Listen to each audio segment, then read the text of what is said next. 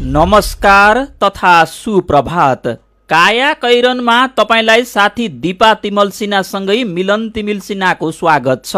काया कैरन उज्यालो रेडियो नेटवर्कसँगै उज्यालो अनलाइन र मोबाइल एप्लिकेसनबाट एकसाथ प्रसारण भइरहेको छ। आज दुई हजार अठहत्तर साल भदौ सोह्र गते बुधबार भदौ कृष्ण पक्षको दशमी तिथि सन् दुई हजार एक्काइस सेप्टेम्बर एक तारिक काया कैरन सुरु गरौं मुख्य मुख्य खबरका शीर्षकहरूबाट।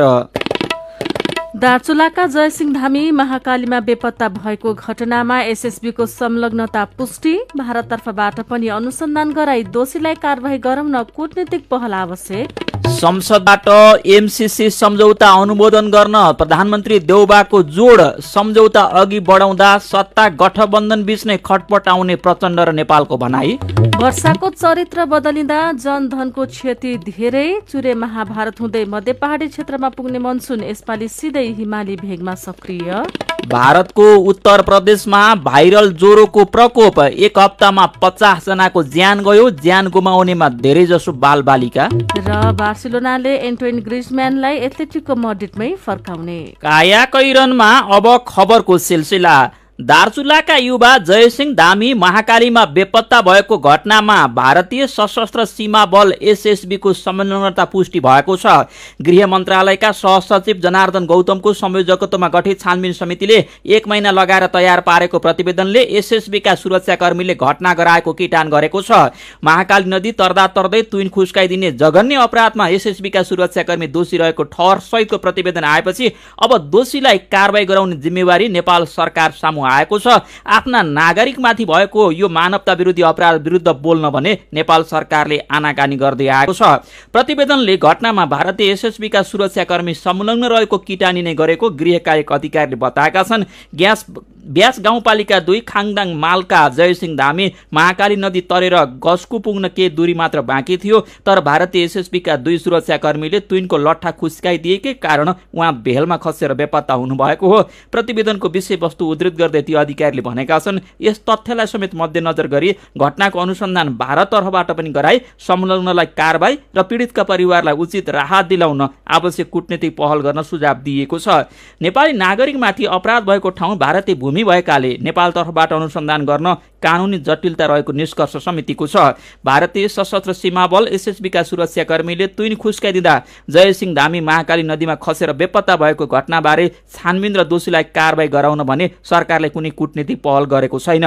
परराष्ट्र मन्त्रालयको समेत जिम्मेवारी सम्हाल्दै आएका प्रधानमन्त्री शेरबहादुर देउबाले घटनाको एक महिना बित्दा पनि कुटनीतिक नोट पठाउन चासो दिनुभएको छैन। परराष्ट्रले न नेपालमा रहेका भारतीय राजदूतलाई बोलाएर घटनाबारे बुझेको छ न त नयाँ दिल्लीमा रहेका नेपाली राजदूतले त्यहाँको विदेश मन्त्रालयमै कुरा राखेका छन्। आजको कान्तिपुरले छापेको छ। मन्त्री परिषद विस्तारको गाँठो फुकाउन मंगलबार बालबाटारमा बोलाएको सत्तारूढ दलको बैठक एमसीसी विवादतिर मोडिएको छ। प्रधानमन्त्री शेरबहादुर देवालले प्रतिनिधि सभा बैठक बोलाउने र अमेरिकी सहयोग नियोग मिलेनियम च्यालेन्ज कर्पोरेशन एमसीसी संघको सम्झौता अनुमोदन गराउने विषयलाई सत्ता घटक दलको बैठकमा प्रवेश गराउनु भएको छ। स्रोतका अनुसार एमसीसी सम्झौता अनुमोदन नगर्दा सरकारमाथि अन्तर्राष्ट्रिय विश्वास गुम्न गई। नेपाललाई सहयोग गर्दै आएका अन्तर्राष्ट्रिय संस्थाले हात झिक्न सक्ने संकेत गर्दै देउवाले यसलाई संसदबाट अनुमोदन गराउनु पर्ने अडान राख्नु भएको थियो। माओवादी केन्द्रका अध्यक्ष पुष्पकमल दाहाल प्रचण्ड र नेकपा एकीकृत समाजवादीका अध्यक्ष माधव कुमार नेपाल भने तत्काल सम्झौता अघि बढाउने पक्षमा हुनुहुन्न। सम्झौता अघि बढाउँदा सत्ता गठबन्धन दल बीच नै खटपट आउने उनीहरूको भनाइ थियो। एमसीसीका पक्षमा वकालत गर्दै आएको गठबन्धनकै अर्को घटक जनता समाजवादी पार्टी जसपाका नेताहरू हिजोको बैठकमा मौन रहेका थिए।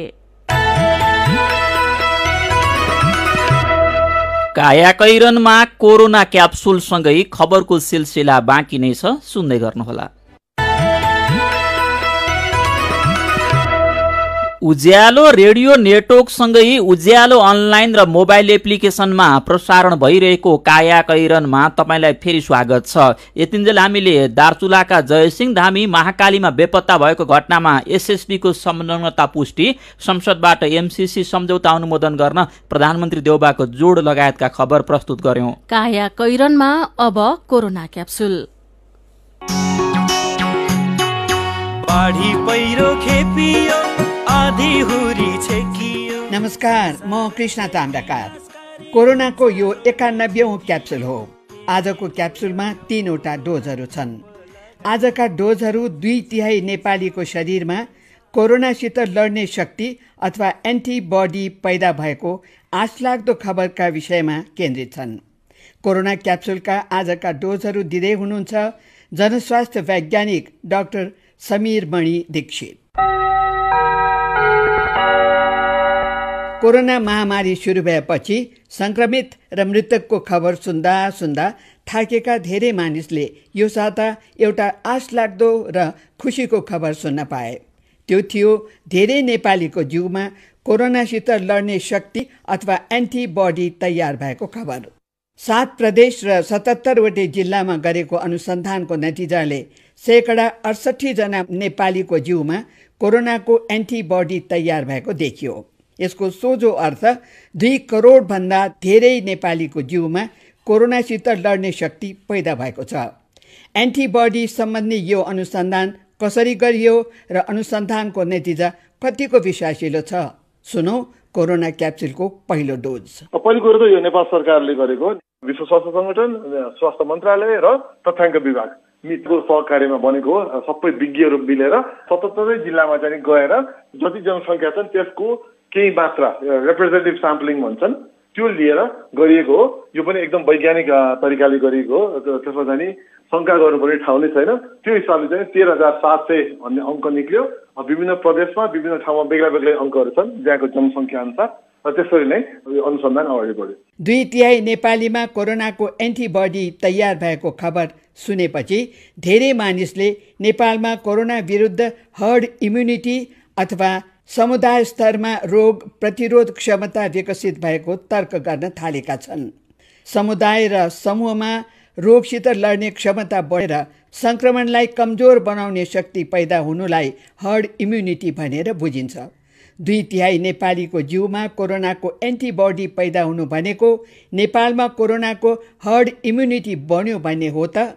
यसै विषयमा सुनौ कोरोना क्याप्सुलको दोस्रो डोज। नेपाल सरकारले सार्वजनिक गरेको जुन प्रारम्भिक नतिजा छ त्यो भनेको तेह्र हजार सात सयजनाको होइन कि तेह्र हजार एक सयजनाको हो। भने चाहिँ अझ पाँच छ सयजनाको त तथ्याङ्क आउन बाँकी नै छ।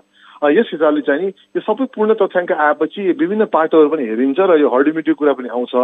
यदि कुरा चाहिँ के विश्वस्त गराउन चाहन्छु भन्दाखेरि यो तथ्याङ्क एकदमै राम्रो एकदमै सकारात्मक समाचार हो। किनभने दसजनामा सातजनामा प्रतिरक्षा प्रणाली विकसित भइसकेको छ। शेकडा अडसठी जना नेपालीमा कोरोना विरुद्ध एन्टिबडी तयार हुनु भनेको नेपालमा दुई तिहाई मानिस कोरोनाको विरुद्ध लड्न सक्षम भए भन्ने नै हो। तर यति धेरै मानिसमा कोरोनाको एन्टिबडी तयार हुँदा पनि हर्ड इम्युनिटी बनेको छ भनेर ढुक्क हुन नसकिने कारण चाहिँ के होला त? थाहा पाउन सुनौ कोरोना क्याप्सुलको तेस्रो तथा अन्तिम डोज। हामी कसैलाई पनि थाहा छैन। यो नयाँ रोग हो कसरी भन्छन्? साठी भन्छन् कसरी सत्तरी भन्छन्? कसैले खोप पनि चाहिन्छ भन्छन् कसैले खोप चाहिँदैन भन्छन्? यो एकदमै अन्यल छ हेर्नुहोस् होइन। के सम्झिनुहोस् भने दसमा सातमा प्रतिरक्षा प्रणाली विकसित भइसकेको छ भनेपछि बाँकी तिसलाई बचाउन सक्ने भयो कि। अब त्यसले गर्दाखेरि के हुन्छ भन्दाखेरि त्यो दसमा जुन सातजनामा प्रतिरक्षा प्रणाली विकसित भइसकेको छ उहाँहरूलाई अब फेरि पनि सङ्क्रमण हुन सक्ला तर कडा हुने अथवा अस्पताल भर्ना हुनुपर्ने अथवा मृत्यु हुने सम्भावना अब झन् झन्झनै टरेको छ कि? त्यसले गर्दाखेरि त्यो जस्तो राम्रो समाचार के होला र? त्यसमाथि अझ खोपलाई हामीले अझ कडा गऱ्यो भने त हामीहरूले हर्ड इम्युनिटी म भन्न झन् नै चिचाउँछु हेर्नुहोस् तर पनि लहरहरू चाहिँ रोक्न अब हामी सायद सफल हुन्छौँ अब। अहिलेलाई तेस्रो डोज आउनुपर्छ नभनौँ। कमसेकम चालिस प्रतिशत नेपालीले पूर्ण खोप पाएपछि यो तथ्याङ्क र त्यो जोडेपछि चाहिँ सायद हामीहरू एकदमै राम्रो अवस्थामा पुग्छौँ। र सायद बुस्टर डोज लाउनु नपर्ला नेपालीका शरीरमा कोभिड महामारीसित लड्ने एन्टिबडी तयार भएको खबर र अनुसन्धानसित सम्बन्धित जानकारी र विचारका लागि जनस्वास्थ्य वैज्ञानिक डाक्टर समीर मणि दीक्षितलाई धन्यवाद। र कोरोना क्याप्सुल सुन्नुभएकोमा तपाईँलाई पनि धन्यवाद। लौ त कोरोनाको अर्को क्याप्सुलमा फेरि भेटौँ।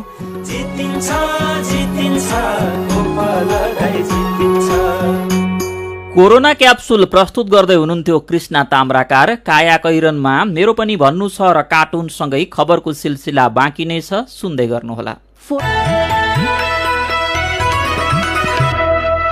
सिधा कुरा प्रष्ट विचार काठमाडौँमा नब्बे मेगाहर्ज। उज्यालो रेडियो नेटवर्क मार्फत देशभरिका विभिन्न एफएम स्टेशन तथा उज्यालो अनलाइन र मोबाइल एप्लिकेसनमा प्रसारण भइरहेको काया कैरनमा तपाईँलाई फेरि स्वागत छ। अब बाँकी खबर। वर्षाको चरित्र बदलिएका कारण यो वर्ष उच्च हिमाली भागमा अतिवृष्टि भएको विज्ञहरूले बताएका छन्। विगतमा हिमाली क्षेत्रलाई मनसुन स्याडो क्षेत्र मानिए पनि यो वर्षको मनसुन सिधै हिमाली क्षेत्र सोझिएको जलवायु विज्ञ गमिन्द्र दाहालले बताउनुभयो चुरे महाभारत हुँदै मध्य पहाड़ी क्षेत्रमा सक्रिय हुने मनसुन यसपालि सिधै हिमाली भागमा सक्रिय भएको छ। यो चाहिँ फरक चक्र हो उहाँले भन्नुभएको छ। हिउँ परे पनि पानी बिरलै पर्ने सिन्धुपाल्चोक मनाङ मुस्ताङका माथिल्ला भागमा भेलबाड़ी नै आयो। यो हाम्रा लागि राम्रो खबर होइन।